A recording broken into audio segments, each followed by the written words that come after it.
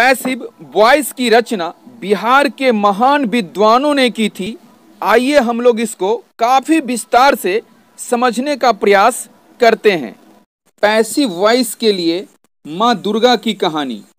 एक समय की बात है, किसी देश में एक राजा राज्य करता था। वह हमेशा अपने रानियों के बीच समय बिताया करता था। वह अपने राज्य के कार्यों पर ध्यान नहीं देता था। उसने शासन का भार, एक चापलूस और अत्याचारी व्यक्ति को सौंप दिया था। वाक्य में चापलूस और अत्याचारी सब्जेक्ट होता है, जो हमेशा मेहनती आदमी पर अत्याचार किया करता था और बहुत सताया करता था। वाक्य में मेहनती आदमी ऑब्जेक्ट होता है। वहाँ के कुछ लोग बगल के एक मंदिर में जाकर प्रत्येक दिन ईश्वर से प्रार्थना करते थे कि ईश्वर उन लोगों को उस अत्याचारी राजा से मुक्ति दिलाएँ। वाक्य में अत्याचारी राजा फाइनाइट मेन वर्ब होता है। उस मंदिर के देवता ने उस देश के लोगों को उस अत्याचारी राजा से मुक्ति दिलवाने के लिए माँ दुर्गा से प्रार्थना किया। वाक्य में माँ दुर्गा बी है। वाक्य में माँ दुर्गा बी होती है। माँ दुर्गा उस देश के लोगों की रक्षा करने के लिए राज़ी हो गईं और उस देश में पहुँची। यहाँ देश सेंटेंस होता है। माँ दुर्गा के उस देश में पहुँचते ही उन लोगों के देश में हलचल मच गई। शोषित और पीड़ित लोग खुशी से झूम उठे और आगे आ गए। अर्थात वाक्य में सबसे पहले आ गए और अत्याचारी व्यक्ति खाई में जाकर छिप गए। वाक्य में शोषित और पीड़ित लोग ऑब्जेक्ट होते हैं।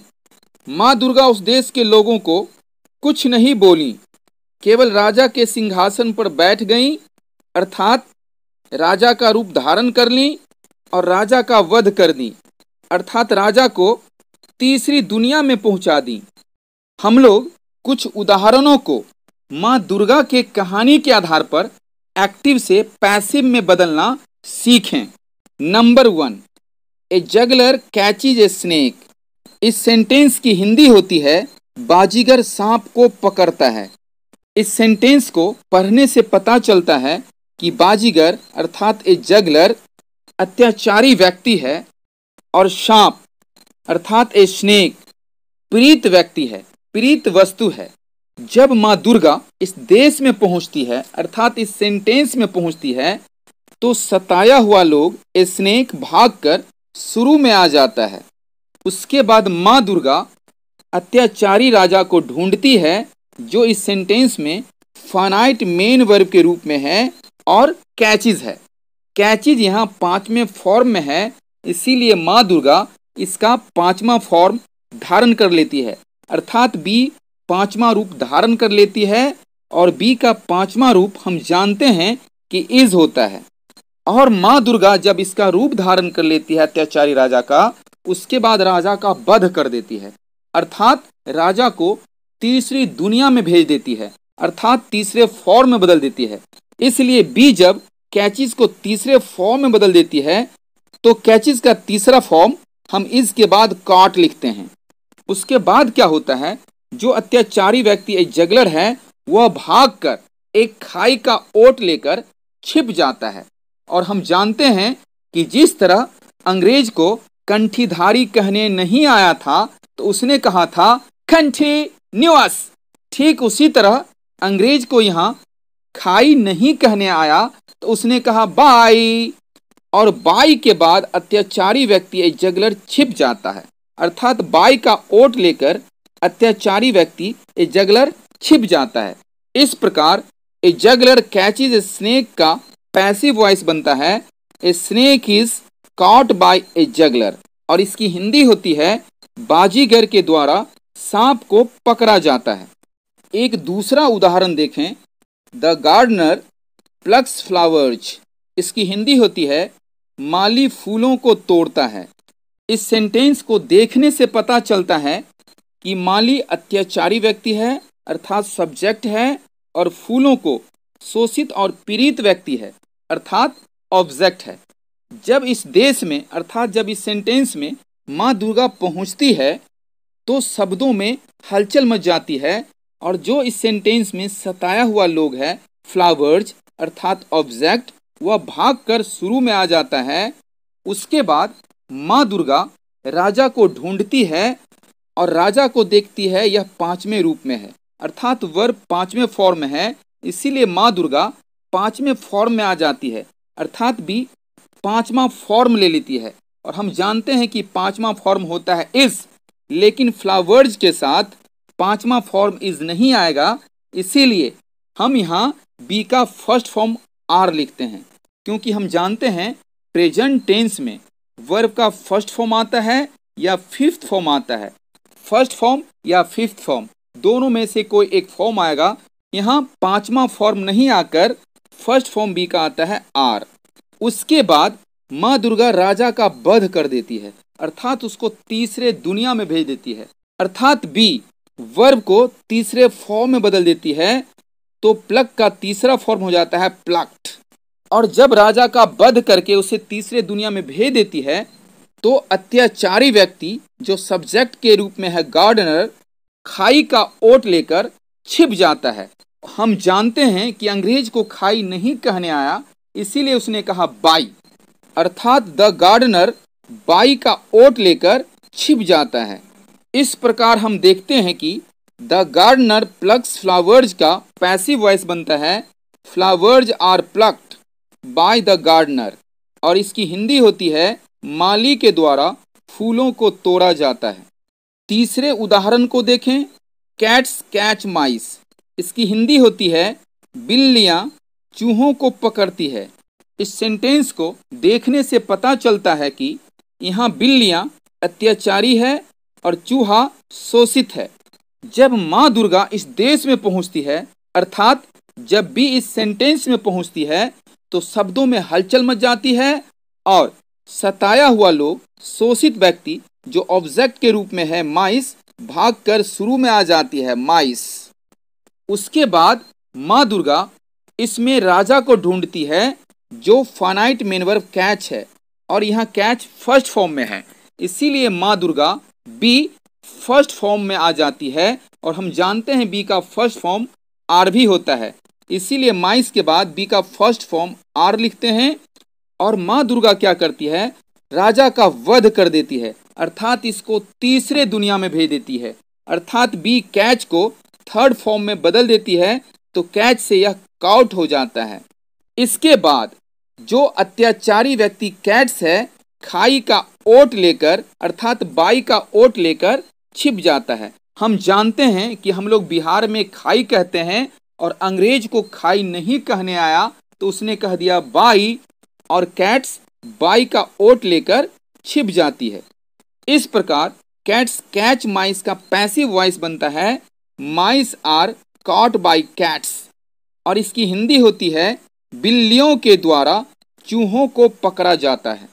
एक चौथे उदाहरण को देखें। That boy stares at this girl इसकी हिंदी होती है, वह लड़का इस लड़की को घूरता है, या वह लड़का इस लड़की को निहारता है। इस सेंटेंस को पढ़ने से पता चलता है कि वह लड़का अत्याचारी है और इस लड़की को, अर्थात यह लड़की, शोषित और पीड़ित है। जब इस देश में माँ दुर्गा पहुँचती है, अर्थात जब इस सेंटेंस में बी पहुँचती है तो सेंटेंस के शब्दों में हलचल मच जाती है। जो शोषित व्यक्ति है दिस गर्ल वह भागकर शुरू में आ जाती है। इस सेंटेंस में दिस गर्ल ऑब्जेक्ट के रूप में है। उसके बाद माँ दुर्गा क्या करती है? राजा को ढूंढती है। तो इस सेंटेंस में राजा है फानाइट मेन वर्ब के रूप में स्टेयर्ज माँ दुर्गा इसका रूप धारण कर लेती है और हम जानते हैं कि स्टेयर्स फिफ्थ फॉर्म में है, इसीलिए माँ दुर्गा पाँचवें रूप में आ जाएगी, अर्थात बी फिफ्थ फॉर्म में आ जाएगी। तो बी का फिफ्थ फॉर्म होता है इस इसलिए हम बी लिख देते हैं, उसके बाद माँ दुर्गा राजा का वध कर देती है, अर्थात राजा को तीसरे दुनिया में भेज देती है। यहाँ बी क्या करती है? स्टेयर्ज एट को तीसरे फॉर्म में बदल देती है। तो इसका तीसरा फॉर्म होता है स्टेयर्ड एट और सबसे अंतिम में जो अत्याचारी व्यक्ति होता है, खाई का ओट लेकर छिप जाता है। और हम जानते हैं कि अंग्रेज़ को खाई नहीं कहने आया तो उसने कहा, बाई। और द बॉय जो अत्याचारी व्यक्ति है, बाई का ओट लेकर सबसे लास्ट में छिप जाता है।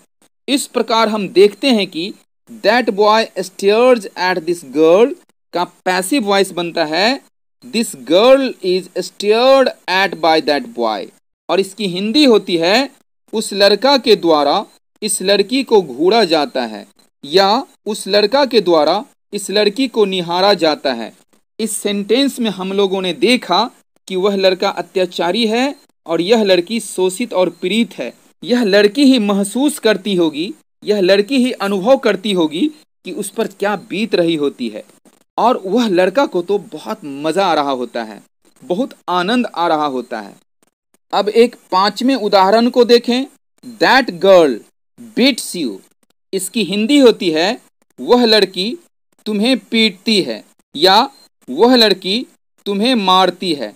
जब वह लड़की तुम्हें पीटती है तो वह लड़की अत्याचारी हो गई और तुम शोषित और पीड़ित व्यक्ति हो गए। उस लड़की को तो तुम्हें पीटने में बड़ा मज़ा आता है, उस लड़की को तुम्हें पीटने में बड़ा आनंद आता है, लेकिन तुम ही जानते हो कि तुम पर क्या बीतती है। केवल तुम ही जान सकते हो कि तुम्हारी क्या स्थिति होती है। जब इस देश में माँ दुर्गा पहुँचती है तो शोषित और पीड़ित व्यक्ति खुशी से झूम उठते हैं। और सबसे आगे आ जाते हैं। अर्थात जो इस सेंटेंस में ऑब्जेक्ट है यू भाग कर शुरू में आ जाता है। अर्थात जब इस सेंटेंस में बी पहुँचती है तो इस सेंटेंस का शोषित और पीड़ित व्यक्ति यू भाग कर शुरू में आ जाता है। और माँ दुर्गा राजा को पकड़ती है और उसका रूप धारण कर लेती है। यहाँ राजा बिट्स पाँचवें रूप में है, इसीलिए माँ दुर्गा पांचवा रूप धारण कर लेती है। लेकिन हम जानते हैं कि प्रेजेंट टेंस में या तो वर्ब का पहला रूप आता है या पांचवा रूप आता है। दोनों में से कोई एक रूप आता है। दोनों रूप नहीं आ सकता है। दोनों में से कोई एक। और हम जानते हैं कि यू के साथ कभी भी वर्ब का पांचवा रूप नहीं आता है। इसीलिए बी यहाँ फ़र्स्ट फॉर्म में आती है और यू के साथ बी का फ़र्स्ट फॉर्म एम भी नहीं आता है। आर आता है। इसीलिए यहाँ आर आ जाता है। उसके बाद माँ दुर्गा क्या करती है? जब राजा का रूप धारण कर लेती है तो राजा का वध कर देती है। अर्थात राजा को जान से मार देती है। अर्थात राजा को तीसरी दुनिया में भेज देती है। वही काम यहाँ बी करती है। बिट्स को तीसरे दुनिया में भेज देती है।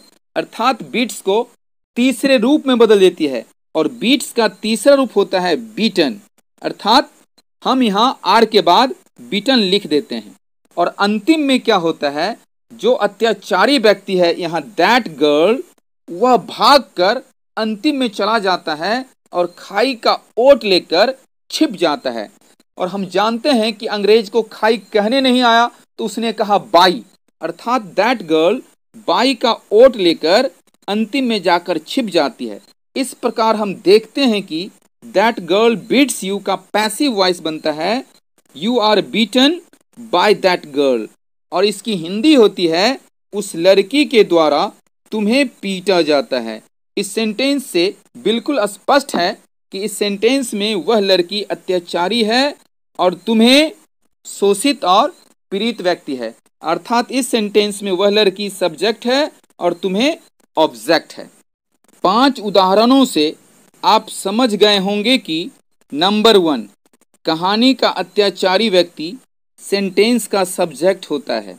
नंबर टू, कहानी का राजा सेंटेंस का वर्ब होता है, अर्थात फानाइट मेन वर्ब होता है। नंबर थ्री, कहानी का शोषित व्यक्ति सेंटेंस का ऑब्जेक्ट होता है। नंबर फोर, कहानी की माँ दुर्गा सेंटेंस का बी होता है।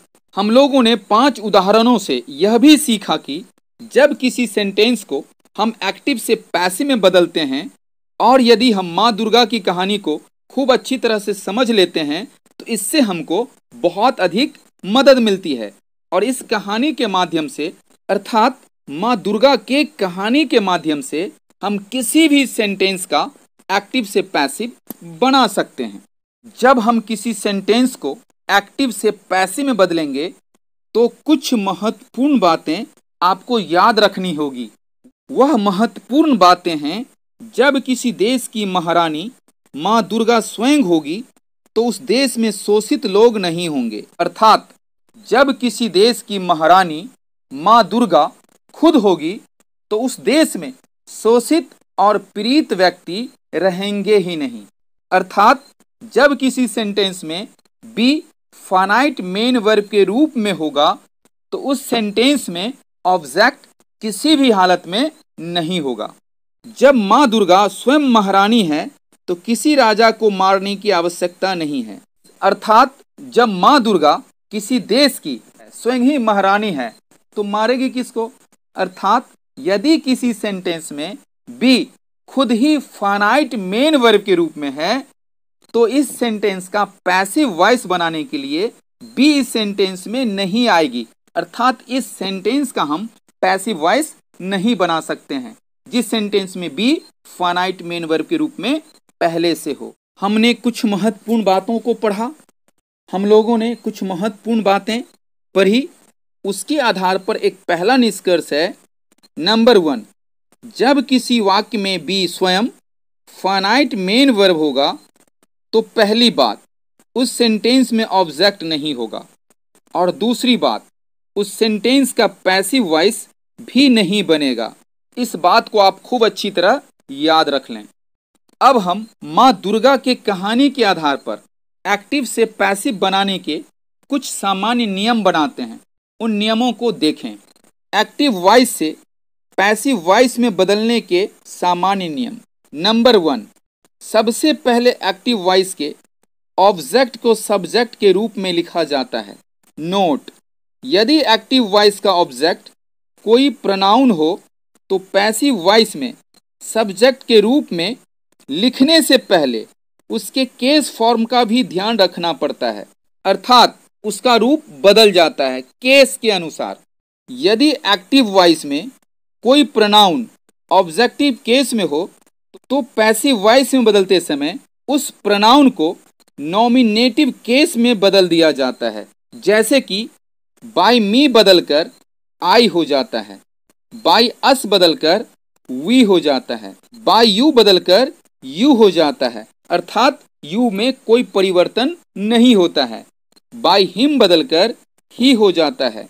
बाय हर बदलकर शी हो जाता है। बाय देम बदलकर दे हो जाता है। इस बात को आप ध्यान रखें कि ऑब्जेक्ट बदलकर सब्जेक्ट के रूप में आ जाता है।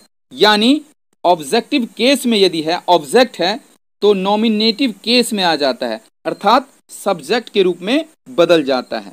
एक्टिव से पैसिव में बदलते समय दूसरा सामान्य नियम है माता दुर्गा के कहानी के आधार पर ऑब्जेक्ट को सब्जेक्ट के रूप में लिखने के बाद यदि हेल्पिंग वर्ब हो तो सभी हेल्पिंग वर्ब को ज्यों का त्यों लिखा जाता है। यहाँ केवल प्रथम हेल्पिंग वर्ब का रूप सब्जेक्ट के अनुसार बदलता है। जब हम किसी सेंटेंस को एक्टिव से पैसिव में बदलते हैं तो तीसरा सामान्य नियम है, सभी हेल्पिंग वर्ब को ज्यों का त्यों लिखने के बाद फाइनाइट मेन वर्ब जिस रूप में रहता है, उसी रूप में हेल्पिंग वर्ब बी को लिखा जाता है।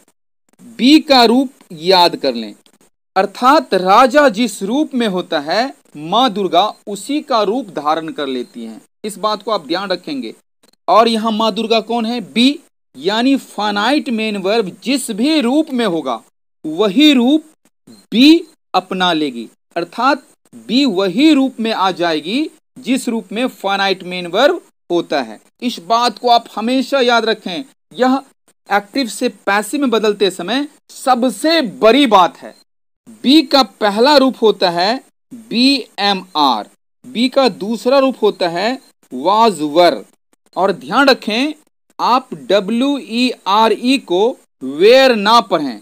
हम लोग बिहार के अधिकतर छात्र इसको वेयर पर लेते हैं। यह वेयर नहीं है, यह वर है। आप किसी भी मोटी डिक्शनरी में देख सकते हैं। बी का थर्ड फॉर्म होता है बीन बी का फोर्थ फॉर्म होता है बीइंग बी का फिफ्थ फॉर्म होता है इस बी का पाँचों रूप आप खूब अच्छी तरह से याद रख लें, क्योंकि माँ दुर्गा के आधार पर हम एक्टिव से पैसिव वॉइस बनाते हैं तो माँ दुर्गा को आपको कभी नहीं भूलना चाहिए। अर्थात बी का रूप आप हर हालत में कर लें, क्योंकि किसी भी सेंटेंस में माँ दुर्गा बी ही है, अर्थात बी है। और किसी भी सेंटेंस को एक्टिव से पैसिव में बदलते समय सबसे बड़ा कमाल बी का ही तो है, किसी भी सेंटेंस को। एक्टिव से पैसिव में बदलते समय चौथा सामान्य नियम है बी का रूप लिख लेने के बाद फानाइट मेन वर्ब का तीसरा रूप लिखा जाता है।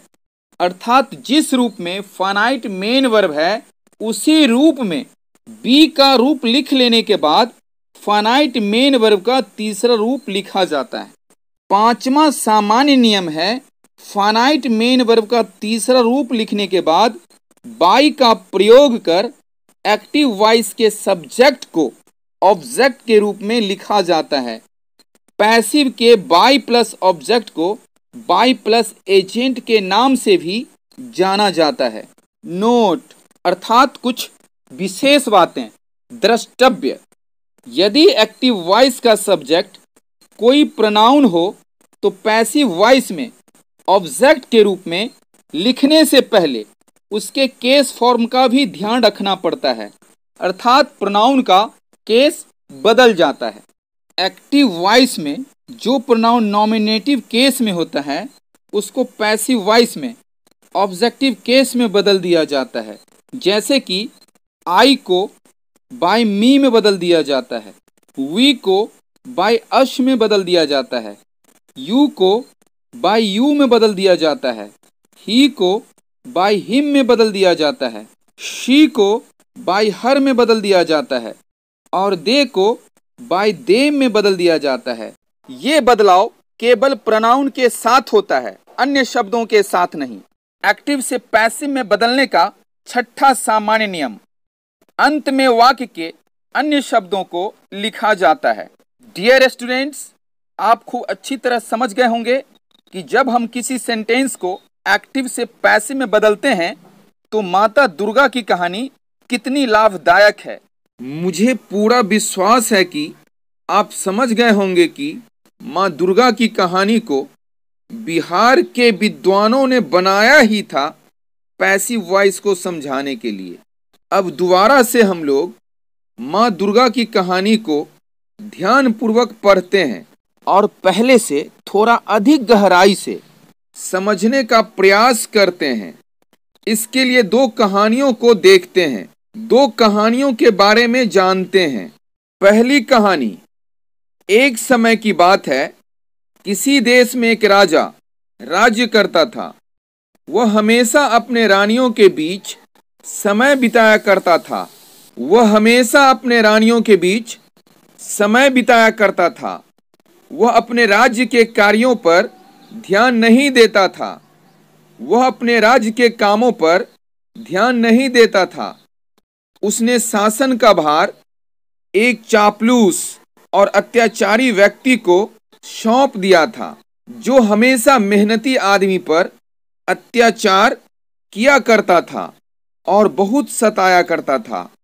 वहाँ के कुछ लोग बगल के एक मंदिर में जाकर प्रत्येक दिन ईश्वर से प्रार्थना करते थे कि ईश्वर उन लोगों को उस अत्याचारी राजा से मुक्ति दिलाएँ।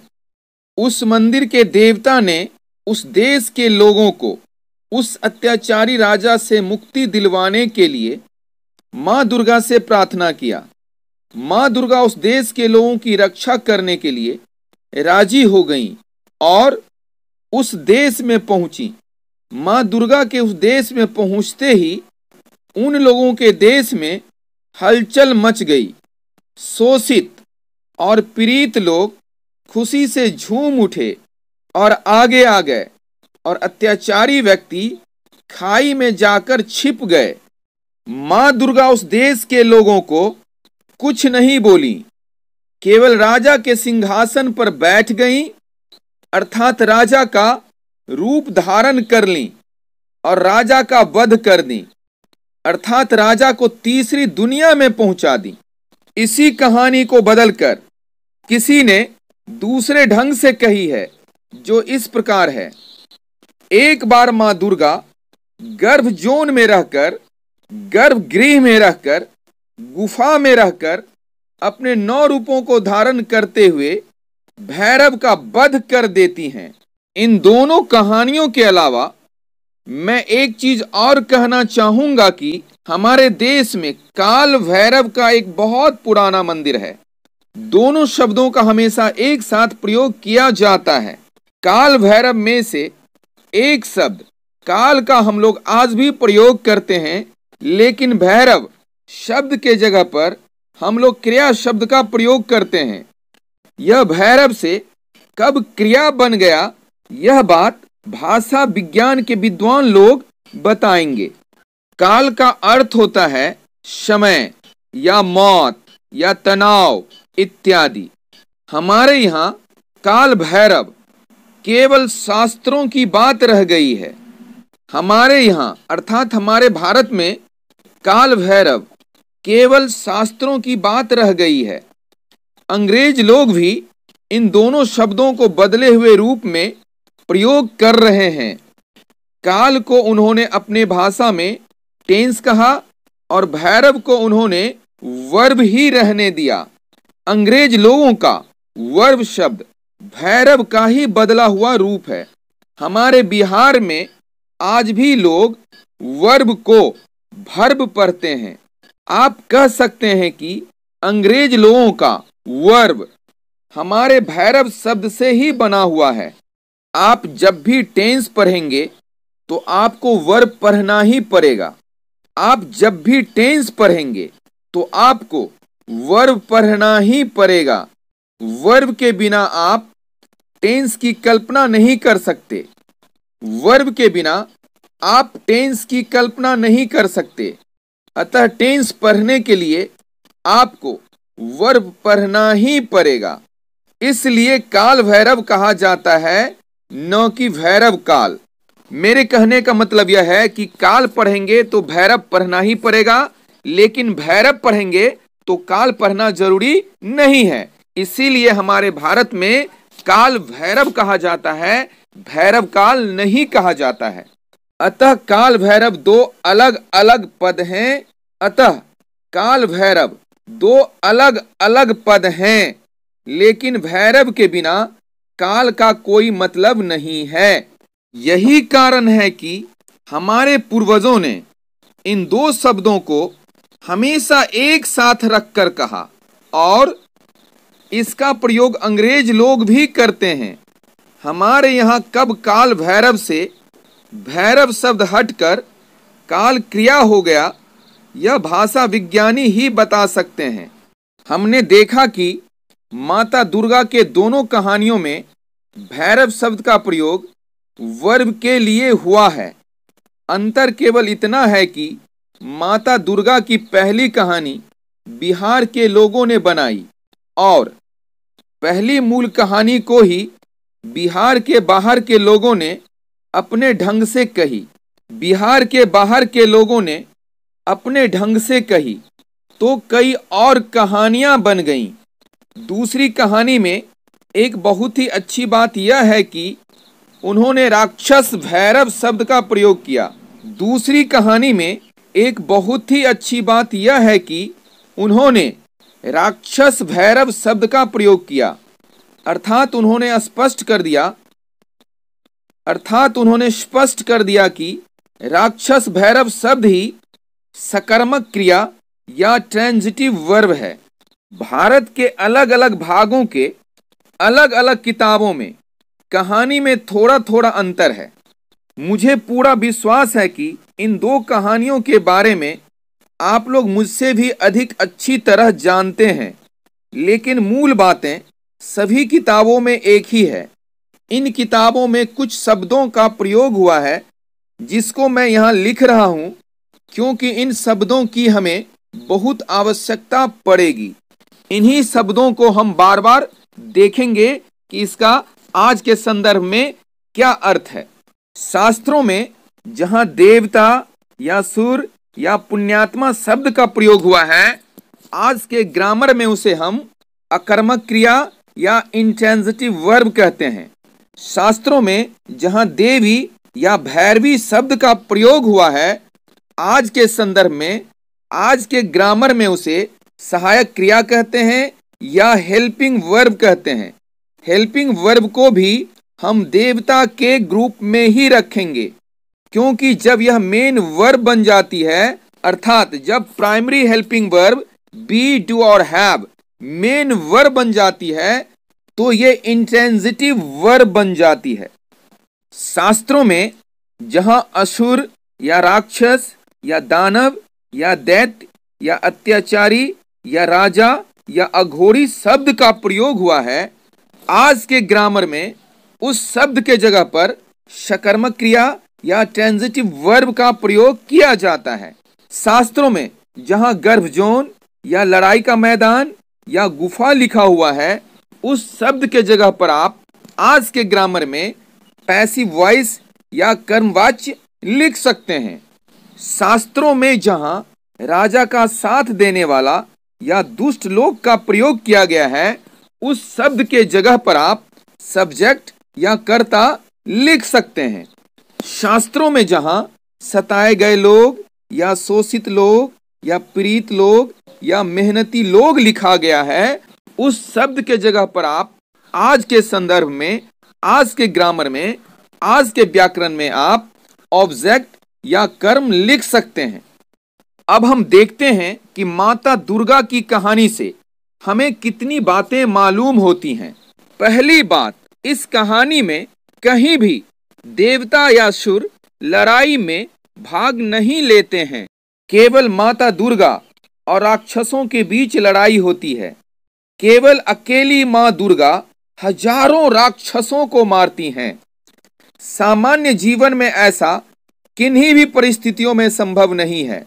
लेकिन यह बिल्कुल सही कहानी है, क्योंकि पैसिव वॉइस में केवल बी ही हज़ारों ट्रांजिटिव वर्बों को मारकर तीसरी दुनिया में पहुँचा देती है, अर्थात तीसरे रूप में बदल देती है। मेरे विचार से, भारत या भारत के बाहर रहने वाले लोग, जिनके मन में यह शंका थी कि कैसे अकेली माता दुर्गा हज़ारों राक्षसों को जान से मार देती हैं हट गई होगी। हम लोगों को बहुत ही आश्चर्य लगता है कि केवल अकेली माता दुर्गा कैसे हज़ारों राक्षसों को मारती है। और पैसिव वॉइस में जब आप देखेंगे तो पैसिव वॉइस में भी यही होता है, मात्र अकेले बी हज़ारों ट्रांजिटिव वर्ब को तीसरे फॉर्म में बदलती है। और तीसरी दुनिया में जब बदलती है तो स्वाभाविक है बी हज़ारों ट्रांजिटिव को जान से मार देती है और उसे तीसरी दुनिया में भेज देती है, अर्थात तीसरे रूप में बदल देती है। दूसरी बात, जिस रूप में राक्षस रहता है, माँ दुर्गा उसी रूप में आकर राक्षसों का वध कर देती हैं। पैसिव वॉइस में भी यही होता है, जिस रूप में ट्रांजिटिव वर्ब होता है वही रूप भी धारण कर लेती हैं और ट्रांजिटिव वर्ब को तीसरी दुनिया में पहुँचा देती हैं, अर्थात तीसरे रूप में बदल देती है। हम लोग बचपन में सुनते थे कि माता दुर्गा कई रूप धारण करती है और जिस रूप में राक्षस होता है, वही रूप माता दुर्गा धारण कर लेती है और राक्षस को जान से मार देती है। पैसिव वॉइस में भी यही होता है। बी हज़ारों राक्षसों का रूप धारण करके उसको जान से मार देती है और उसे तीसरी दुनिया में पहुँचा देती है, यानी हज़ारों ट्रांजिटिव वर्ब को तीसरे रूप में बदल देती है। तीसरी बात, माता दुर्गा नौ दिनों तक राक्षसों से लड़कर राक्षसों का वध करती हैं, या माता दुर्गा नौ महीनों तक गुफा में रहकर भैरव का वध करती हैं। यहाँ मूल कहानी से थोड़ा अंतर है कि पुराने कहानियों में नौ रूपों को नौ दिन या नौ महीना या नौ वर्ष कहा गया है। इसलिए विद्वानों से मेरा निवेदन है कि वे इस कहानी में सुधार करके नौ दिनों या नौ महीनों या नौ वर्षों के स्थान पर नौ रूपों को लिखें, क्योंकि बिहार के विद्वानों के द्वारा बनाई गई कहानी में माता दुर्गा के नौ रूपों की चर्चा है।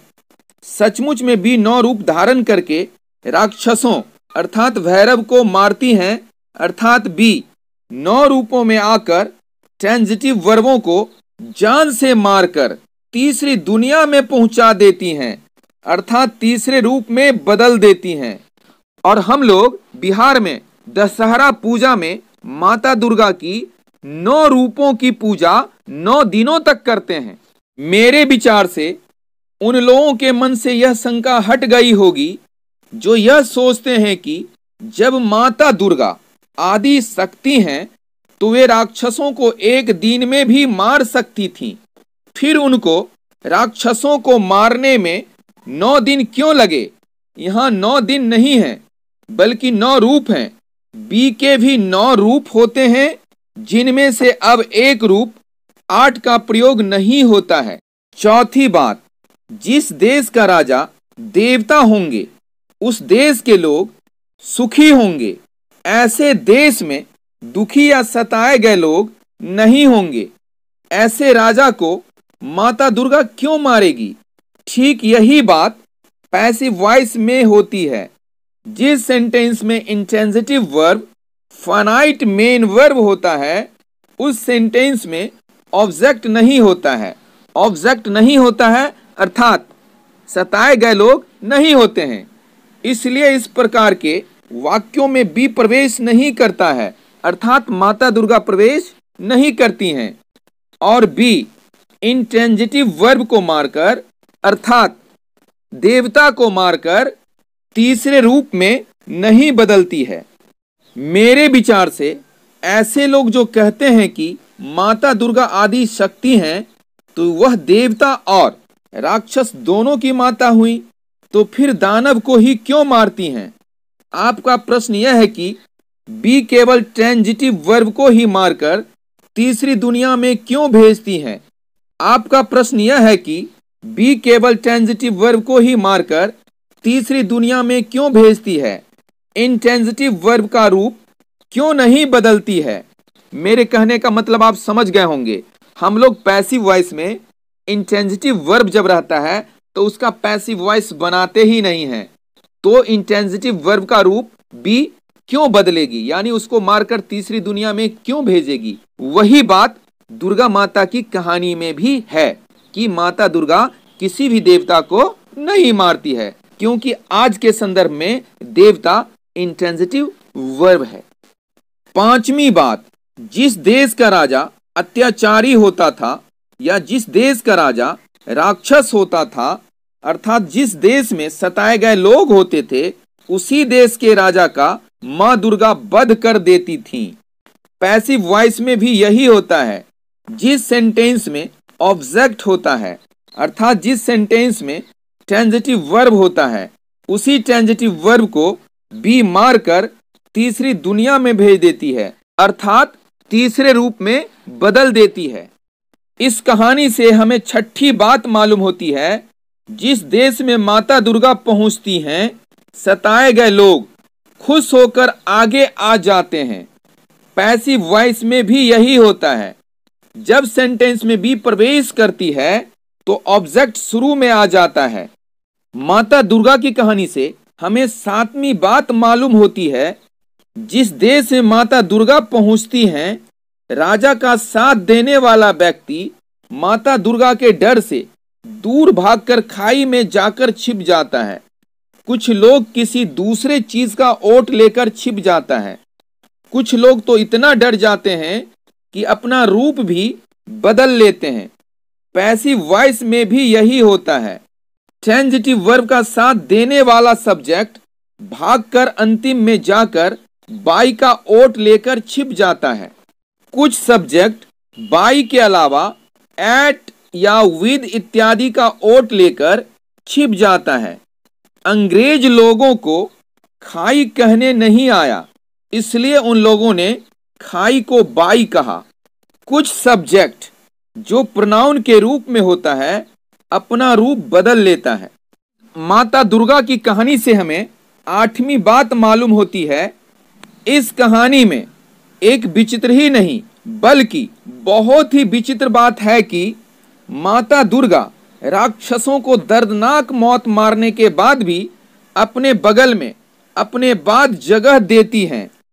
पैसिव वॉइस में भी यही बात होती है कि जब भी ट्रांजिटिव वर्ब को जान से मारकर तीसरी दुनिया में भेज देती है तो बी के तुरंत बाद ही ट्रांजिटिव वर्ब तीसरे रूप में आता है। मुझे पूरा विश्वास है कि जिन व्यक्तियों को यह शंका है कि यह कैसे हो सकता है कि माता दुर्गा, जिन राक्षसों को दर्दनाक मौत देती हैं, उन्हीं राक्षसों का उन्हीं के बगल में पूजा होती है।